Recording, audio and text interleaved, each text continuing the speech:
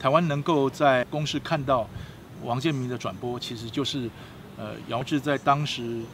呃行政院新闻局长任内，他所大力推动的，他也让高雄市的市这些运动会完美呈现。台北市如果要啊认真办好二零一七世界大学运动会，真的非要像有姚文志这样的有运动的心，有